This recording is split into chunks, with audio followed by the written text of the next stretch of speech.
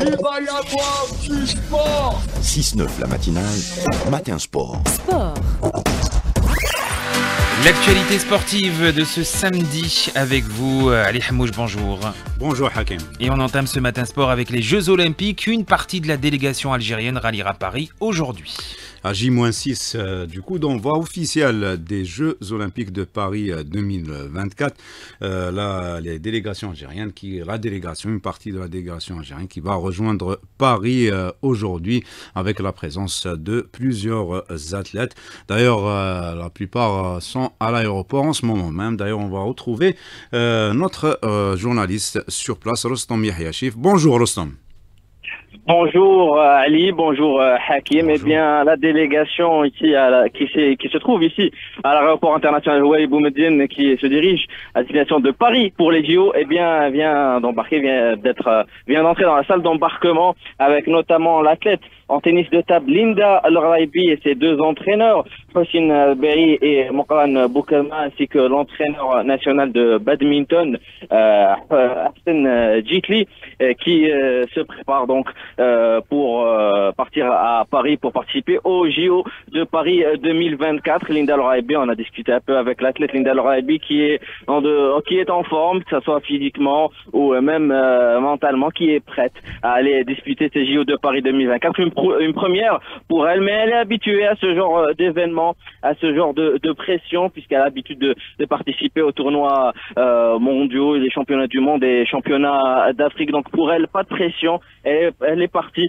euh, elle part à Paris sans pression euh, pour euh, participer à ces JO de Paris 2024 et représenter dignement euh, l'Algérie dans ces JO de Paris 2024 en, tennis de table, tout comme le badminton avec la Perkousseila et Tanina Mami qui se trouvent déjà à, Paris en stage de préparation. Leur entraîneur qui part aujourd'hui, qui est déjà parti une première fois rejoindre et faire les préparatifs avec la Perkousseila et Tanina Mami en paire double mixte pour ces JO de Paris 2024 et euh, également Hassan Jitli qui est confiant pour la participation algérienne à cette discipline du euh, badminton qui revient après 2008, une nouvelle fois l'Algérie qui est présente en badminton en double mix cette fois-ci. Merci euh, Rostam pour tous euh, ces détails. On rappellera qu'il y aura plusieurs départs euh, durant les prochains jours de nos athlètes euh, vers Paris où les Jeux Olympiques qui vont, on rappellera, débuter vendredi prochain. Il y a eu également des départs la semaine dernière avec notamment les judokas, le trio emmené par Amina Belkadi, Idriss Msoud et Mohamed Madi Lili qui sont déjà sur place à Paris pour préparer les Jeux Olympiques de Paris 2024. Du avec les filles du HBC Elbiar qui prennent une sérieuse option pour le titre. En effet, Hakim, le handball club d'Elbiar, seul leader à l'issue de la première journée du dernier tournoi playoff dames qui se déroule à Constantine. Le point avec notre envoyé spécial sur place, Lotfi Benidir. Cette sixième et avant-dernière journée des playoffs a été marquée par la large victoire du Handball Club d'Elbiar face au NRFC de Constantine sur le score de 30 à 15, un succès qui permet aux champions d'Algérie en titre de maintenir leur place de leader avec un total de 12 points. Et sur ce précieux succès, on écoute l'entraîneur du Handball Club d'Elbiar, Moulay Abdullah Fatah. On a essayé de gérer l'équipe pour préparer le match qui sera décisif. Je pense qu'on est prêt pour euh, être champion, Inch'Allah. On a fait tout pour nous champions. Euh, on a commencé le 1er août, euh, on va terminer la fin juillet. C'est beaucoup pour les filles, c'est pour ça qu'on a fait tourner l'effectif pour éviter les blessures aux joueuses de l'équipe nationale. Par ailleurs, le Mouloudia d'Alger a raté l'occasion de rester collé à cette première place suite à sa défaite face au club féminin de Boumerdes sur le score de 30 à 28 alors que pour le reste des rencontres, le groupement sportif de Sétif s'est imposé face au NRKG Alger 31 à 24 et victoire du club sportif de Mouloud Mamri face au Handball Club de Mila sur le score de 26 à 24. Cette septième et dernière journée des playoffs aura lieu ce samedi et sera marquée par ce choc Handball Club d'Elbiar, Mouloudia d'Alger à partir de 17h à la salle Berchèche de Constantine. Et Hakim les handballeuses d'Elbière qui n'auront besoin que d'un seul petit point euh, face au Mouloudia d'Alger pour décrocher leur sixième titre de champion euh, d'Algérie. Et la rencontre HBC Elbière Mouloudia d'Alger qui est prévue à 17h aujourd'hui. Du rugby avec l'équipe nationale qui disputera aujourd'hui les quarts de finale de la Coupe d'Afrique. Et c'est l'Ouganda qui accueille cette édition euh, de la Coupe d'Afrique des Nations et l'Algérie donc qui affrontera pour le compte des quarts de finale la Côte d'Ivoire. Ça sera à midi heure algérienne. Présentation de cette rencontre avec Lotfi Benidir.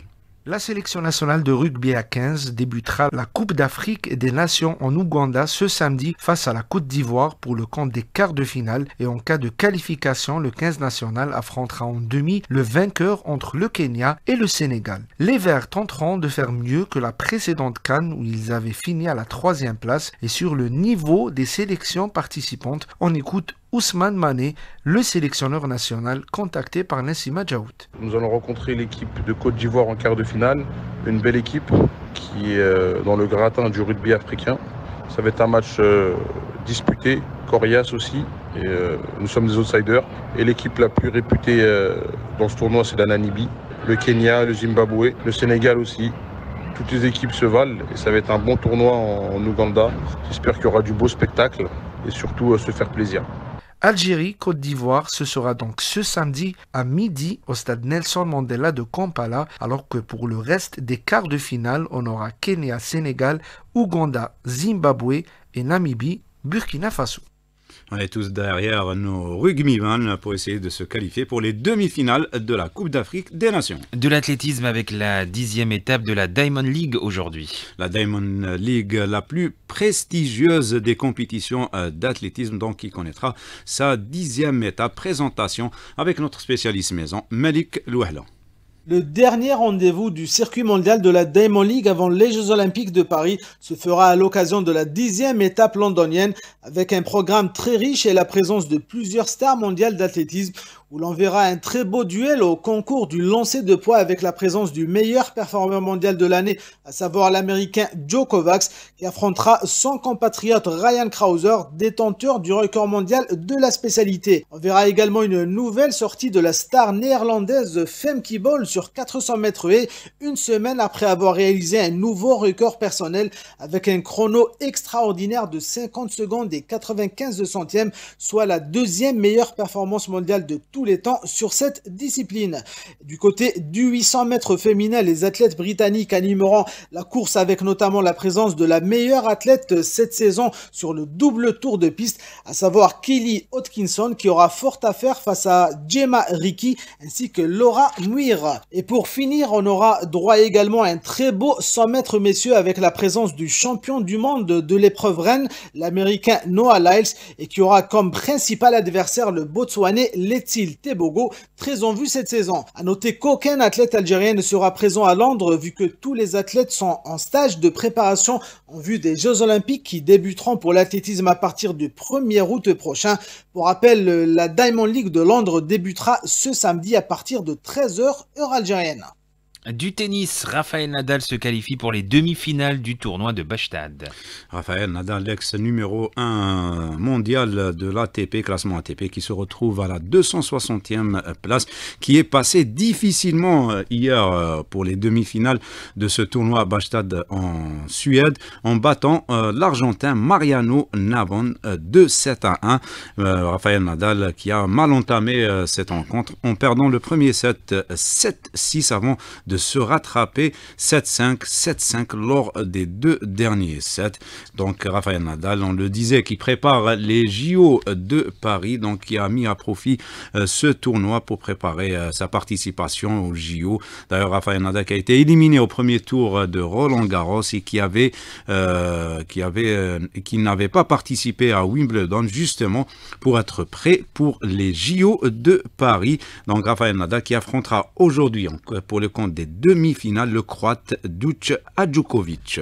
Du cyclisme avec le Tour de France, Tadej Bogacar qui fait un grand pas vers la victoire finale. Absolument, Hakim, le Slovène, donc euh, Tadej Bogacar qui a fait un grand pas vers euh, la victoire décisive dans ce Tour de France 2024 en remportant en solitaire la 19e étape dans la station de ski euh, d'Isola. Il faut savoir que c'est la 15e victoire de, euh, du Slovène Tadej Pogacar dans ce Tour de France. C'est sa 81e victoire en Tour de France. C'est énorme pour cet athlète, donc qui est bien parti pour remporter le Tour de France. Du football avec le Milan AC qui recrute un champion d'Europe. Le champion d'Europe en question, c'est l'Espagnol Alvaro Morata. Donc là, c'est Milan qui a annoncé le recrutement de l'Espagnol euh, hier en provenance de l'Atlético Madrid pour un contrat euh, qui va euh, de 4 ans. Morata, âgé de 31 ans, qui a été recruté jusqu'au 30 juin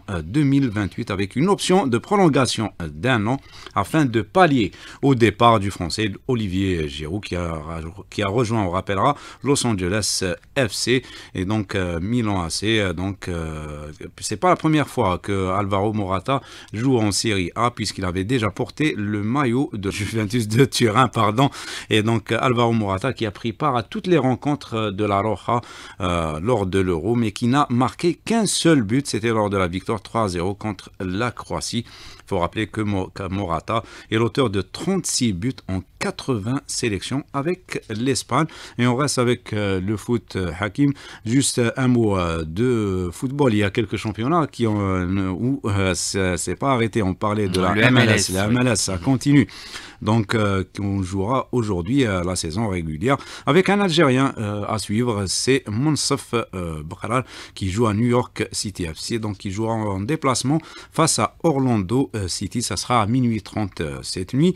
Et aujourd'hui également. La reprise du championnat suisse. Absolument, Hakim. Reprise, c'est le premier championnat européen qui reprend, c'est le championnat suisse avec trois matchs au programme. Lugano face à Grasshopper Zurich, Yverdon qui accueillera Zurich et Winterthur face à Saint-Gall.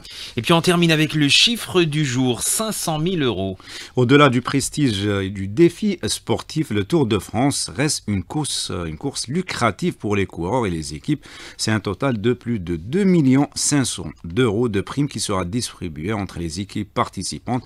En plus de la gloire sportive, le Tour de France offre donc une manne financière conséquente, d'autant plus importante qu'il s'agit de la course cycliste la plus exposée médiatiquement tout au long de l'année le vainqueur du classement général se verra remettre un chèque de 500 000 euros.